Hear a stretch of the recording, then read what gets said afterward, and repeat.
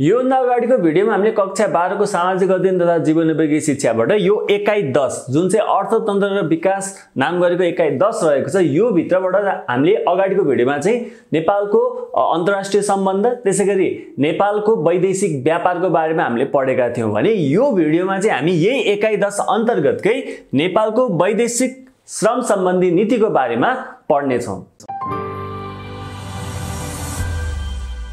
पहिला सुरु बुझौँ वैदेशिक रोजगारी अथवा रोजगार भनेको के हो? है यो बारे पहिला सुरु बुझौँ है। आफ्नो देशको सिमानाभन्दा बाहिर गएर रोजगारीमा लाग्नु नै वैदेशिक रोजगार हो। एकदम सजिलो भाषामा सजिलो शब्दमा हामीले वैदेशिक रोजगारलाई कसरी व्याख्या गर्न सक्छौँ भन्दाखेरि आफ्नो देशको आफ्नो राष्ट्रको सिमानाभन्दा बाहिर गएर रोजगारीमा संलग्न हुनु नै के हो? वैदेशिक रोजगारी हो जस्तो धेरै नेपालीहरू चाहिँ नेपालको भूमिभन्दा बाहिर गएर धेरै त भारतमा त्यसै गरी कोही मलेसियामा कतारमा हो लगायत अरू विभिन्न राष्ट्रमा चाहिँ कामको लागि रोजगारको लागि बाहिर जानुभएको छ र उहाँहरूले गर्नुभएको जुन रोजगार छ त्यसलाई हामी वैदेशिक रोजगार भन्छौँ है। नेपालीहरू सुगौली सन्धि पछाडि बेलायती सेनामा भर्ना भएको हामी इतिहासमा पाउँदछौँ है। अब जस्तो सुगौली सन्धि भएको थियो बेलायतसँग है। र त्यस पछाडि चाहिँ के भयो भन्दाखेरि नेपालले बेलायतसँग सुमधुर सम्बन्ध कायम गरेको थियो र प्रथम विश्वयुद्ध दोस्रो विश्वयुद्धमा पनि नेपालको तर्फबाट सैनिकहरूले चाहिँ बेलायतको तर्फबाट लडेका थिए। नेपाली सेनाहरूले बेलायतको तर्फबाट प्रथम विश्वयुद्ध दोस्रो विश्वयुद्धमा होमिएका थिए है। नेपालले विभिन्न राष्ट्रसँग श्रम सम्झौता गरिसकेको छ र विभिन्न राष्ट्रहरूसँग चाहिँ नेपालले श्रम सम्झौता गरिसकेको छ र त्यो श्रम सम्झौता गरिसके पछाडि चाहिँ के भयो भन्दाखेरि नेपालीहरूले विभिन्न मुलुकहरूमा चाहिँ रोजगारको लागि जाने बाटो खुलेको थियो। नेपालको अर्थतन्त्रमा विप्रेषण जसलाई हामी अङ्ग्रेजीमा रेमिटेन्स भन्छौँ है विप्रेषणको ठुलो योगदान रहेको छ। नेपालको अर्थतन्त्र है कुल ग्राहस्थ उत्पादन हामीले हेऱ्यौँ जिडिपी हेऱ्यौँ भने चाहिँ त्यहाँ चाहिँ यो रेमिटेन्स जसलाई हामी विप्रेषण भन्छौँ विप्रेषणको ठुलो महत्त्व रहेको छ र ठुलो योगदान पनि रहेको छ। एउटा ह्युज नम्बर अफ एमाउन्ट चाहिँ हाम्रो जिडिपी कुल ग्राहस्थ उत्पादन है यसमा चाहिँ रेमिटेन्स विप्रेषणको योगदान रहेको छ। हरेक वर्ष पाँच लाखभन्दा बढी श्रमिकहरू विदेशी नै गरेका छन् र नेपालको तथ्याङ्क हामीले हेऱ्यौँ भने चाहिँ पाँच लाखभन्दा बढी मानिसहरू चाहिँ वैदेशिक रोजगारका लागि हरेक वर्ष बाहिर विदेशी नै गरेको हामी पाउँछौँ। भारत बाहेक है। त्यसै गरी झन्डै चालिस लाख जति मानिसहरू वैदेशिक रोजगारीमा संलग्न छन् र हरेक वर्ष पाँच पाँच लाखजना गइरहेको तथ्याङ्कले देखाइरहेको छ। पाँच लाखभन्दा बढ्ने गएको तथ्याङ्क छ र इन टोटल चाहिँ चालिस लाखभन्दा बढी नेपालीहरू चाहिँ वैदेशिक रोजगारीमा संलग्न रहेका छन्। अब डाटाको कुरा गरौँ है तथ्याङ्कको तथ्याङ्कको कुरा गरौँ। राष्ट्र ब्याङ्क नेपाल राष्ट्र ब्याङ्क जुन नेपालको एकमात्र केन्द्रीय ब्याङ्क हो नेपाल राष्ट्र ब्याङ्कको तथ्याङ्क अनुसार आर्थिक वर्ष दुई हजार उन्नाइस बिसमा नेपालले आठ सय पचहत्तर अर्ब है अर्ब करोड लाख होइन हजार होइन अर्ब आठ सय पचहत्तर अर्ब डिप्रेसन यानि कि रेमिटेन्स भित्र्यायो है। भनेपछि यत्रो ठुलो मात्रामा यत्रो ठुलो रकम चाहिँ रेमिटेन्सको माध्यमबाट नेपालमा भित्रिने गरेको रहेछ।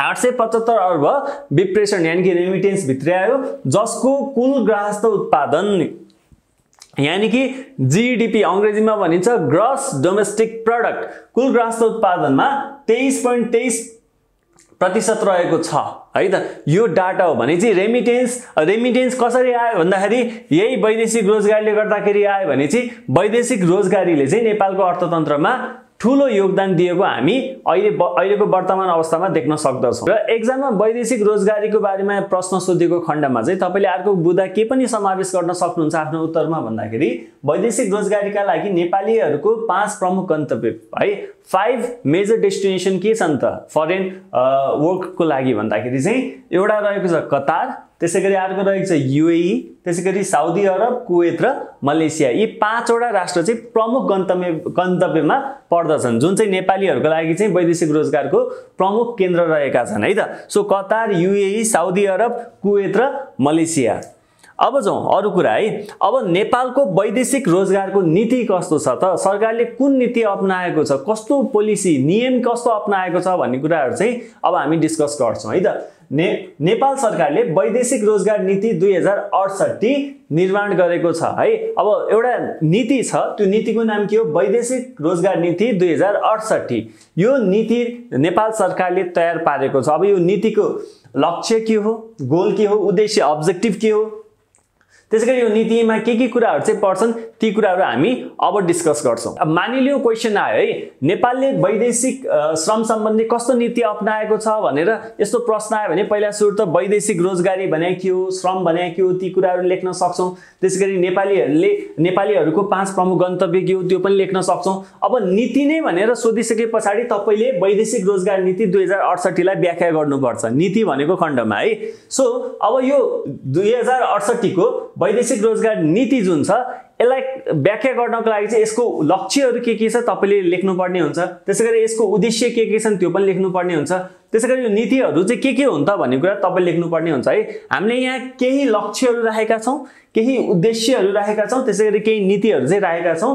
के अन्तर्गत भन्दाखेरि वैदेशिक रोजगार नीति दुई हजार अडसठी अन्तर्गत। यसको लक्ष्य है यसको लक्ष्य भन्नाले यसको गोल के हो? यसको लक्ष्य भनेको वैदेशिक रोजगारीलाई सुरक्षित होइन? सेफ्टी त्यसै गरी व्यवस्थित हो एकदम वेल म्यानेज त्यसै गरी मर्यादित र भरपर्दो हो बनाउँदै विभिन्न लाभहरूबाट गरिबी निवारण तथा राष्ट्रको दिगो आर्थिक विकासमा योगदान रहेको छ है।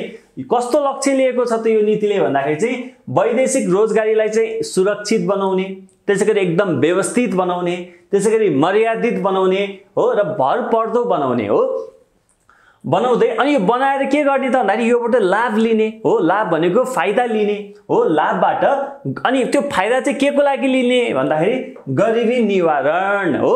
पोभर्टी एलिभेसन तथा राष्ट्रको दिगो आर्थिक विकासमा योगदान दिने। र राष्ट्रको दिगो आर्थिक विकासमा चाहिँ योगदान चाहिँ यही वैदेशिक रोजगारीबाट लाभ लिएर दिने भन्ने चाहिँ यसको प्रमुख गोल यानि कि लक्ष्य रहेको छ। अब कुरा गरौँ उद्देश्य। उद्देश्य भनेको अब्जेक्टिभ्स अब यो नीतिको वैदेशिक रोजगार नीति दुई हजार अडसट्ठीको उद्देश्य के हो त?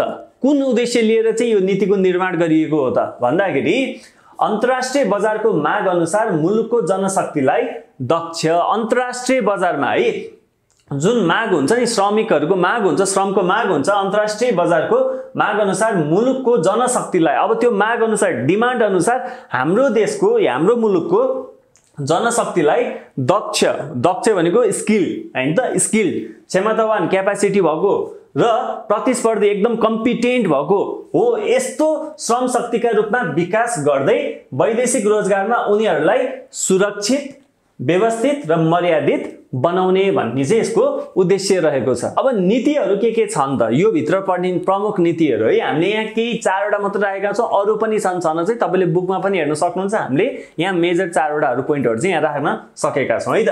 एउटा छ अन्तर्राष्ट्रिय श्रम श्रम बजारमा रोजगारीका अवसरहरू पहिचान र प्रवर्धन गर्ने अन्तर्राष्ट्रिय बजारमा हो। यो श्रम रोजगार श्रम बजारमा रोजगारीका अवसरहरू के कस्ता छन्? त्यो अवसरहरू अपर्च्युनिटिजहरू खोज्ने र तिनीहरूको पहिचान गर्ने आइडेन्टिफाई गर्ने र प्रवर्धन गर्ने प्रमोट गर्ने हो यो एउटा उद्देश्य रहेको छ। अर्को छ प्रतिस्पर्धात्मक क्षमता सहितका सिपयुक्त जनशक्ति तयार गरी वैदेशिक रोजगारीको लाभलाई अधिकतम गर्ने। अब वैदेशिक रोजगारीको लाभ जुन त्यो बेनिफिट हुन्छ नि हो? यो वैदेशिक रोजगारीको बेनिफिट लाभलाई चाहिँ अधिकतम म्याक्सिमम गर्ने भन्न खोजेको है म्याक्सिमम गर्ने। कसरी म्याक्सिमम गर्ने भन्दाखेरि प्रतिस्पर्धात्मक क्षमता सहितका सिपयुक्त जनशक्ति तयार भनेको के? जनशक्ति भनेको ह्युमन रिसोर्सलाई डेभलप गर्ने भने कस्तो खालको ह्युमन रिसोर्स डेभलप गर्ने भन्दाखेरि चाहिँ प्रतिस्पर्धात्मक क्षमता सहितका प्रतिस्पर्धात्मक भनेको एकदम वेल एकदम कम्पिटेन्ट भन्न खोजेको है। अरूसँग कम्पिटिसन गर्न सक्ने अरूभन्दा कम्पिटेन्ट भएका जनशक्तिको तयार गरी चाहिँ वैदेशिक रोजगारीबाट लाभ लिने चाहिँ यसको एउटा नीति पनि रहेको छ। तिन नम्बरमा अर्को नीति छ वैदेशिक रोजगार व्यवस्थापनमा वैदेशिक रोजगार व्यवस्थापन म्यानेजमेन्टमा सुशासनको प्रत्याभूत गर्ने। अब प्रत्याभूत भनेको सजिलो भाषा भन्दाखेरि महसुस भने जस्तै हो कि महसुस गर्नु फिल गर्नु भन्न खोजेको है। सुशासनको प्रत्याभूत गर्ने। त्यसै गरी अब अर्को रहेको छ विप्रेषणलाई यानि कि रेमिटेन्सलाई है विप्रेषणलाई मानव विकास ह्युमन डेभलपमेन्ट तथा उत्पादनशील क्षेत्रमा उत्पादनशील क्षेत्र भनेको प्रोडक्टिभ सेक्टरहरू है। जस्तो यो घर जग्गामा कसैले घर जग्गाको जग्गा किनेर बेच्न खोजिरहेछ भने त्यो उत्पादनशील क्षेत्र होइन हो। तर कसैले चाहिँ कुनै कल कारखाना खोज्नु खोल्नको लागि हो केही म्यानुफ्याक्चरिङ इन्डस्ट्रीहरूको लागि हो उद्योगहरूको लागि लगानी गरिरहेको छ भने त्यो चाहिँ उत्पादनशील क्षेत्र भयो है। सो उत्पादनशील क्षेत्रमा आधिकारिक रूपमा परिचालन गर्ने यसको नीति रहेको छ।